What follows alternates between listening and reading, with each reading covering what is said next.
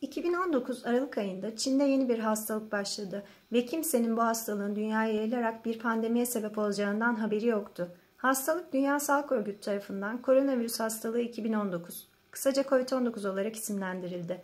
Koronavirüsler normalde insanlarda veya hayvanlarda solunum yolu, sindirim sistemi, karaciğer ve sinir sisteminde hastalığa neden olabilen büyük bir virüs ailesidir.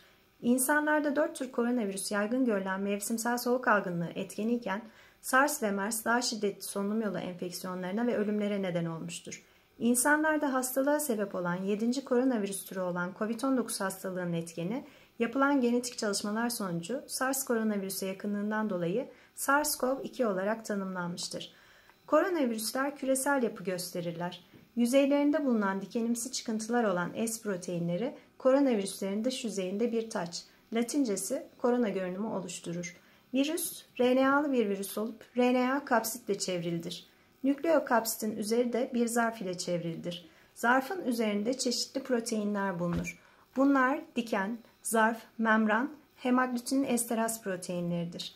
Virüs vücuda girdikten sonra duyarlı hücrelerin yüzeyindeki reseptörlere S proteinleriyle tutunur. Virüs zarı hücre zarı ile kaynaşarak virüs kalıtsal materyali olan RNA'yı hücre içine bırakır ve virüs hücreyi ele geçirmeye başlar. Bağışıklık sistemini uzak tutacak ve virüsün yeni kopyalarını oluşturmaya yardımcı olacak proteinler üretilmeye başlar. Yeni sentezlenen RNA tekrar nükleoprotein ile çevrilir ve bahsettiğimiz proteinler aracılığıyla yeni virüs partikülleri oluşur.